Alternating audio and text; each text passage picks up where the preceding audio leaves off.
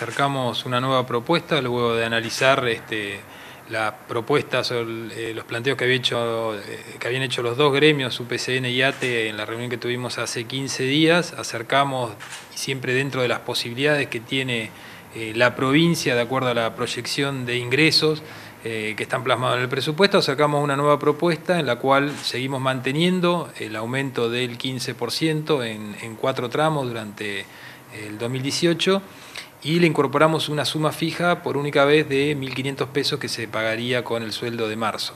Eh, agregamos también, y entendiendo el planteo que nos hicieron sobre eh, la incertidumbre que hay respecto a la devolución de las variables económicas, fundamentalmente de la inflación, le agregamos la, el compromiso de reabrir la paritaria en septiembre para, en función de... Eh,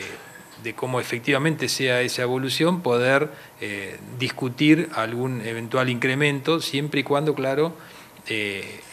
la evolución de los ingresos, que es la, principal variable que, a la que nosotros tenemos este, eh, que atenernos, evolucione positivamente. Entonces, en, alrededor de, allí giró nuestra propuesta, los gremios la están evaluando, la verdad que creemos, fueron, creemos que fueron muy positivas las, este, las dos reuniones. Eh, y bueno, quedamos en seguir, eh, seguir dialogando para poder llegar a un acuerdo lo antes posible y,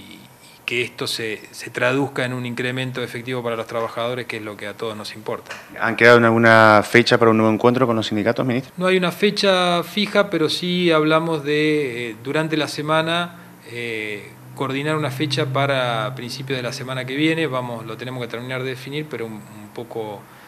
ese sería el objetivo.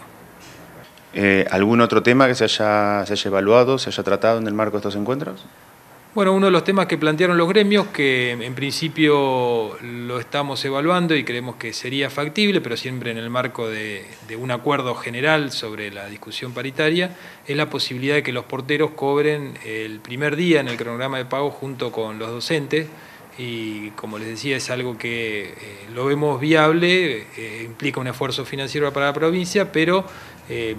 lo vamos a, incluir dentro de un acuerdo general de, dentro de la discusión paritaria.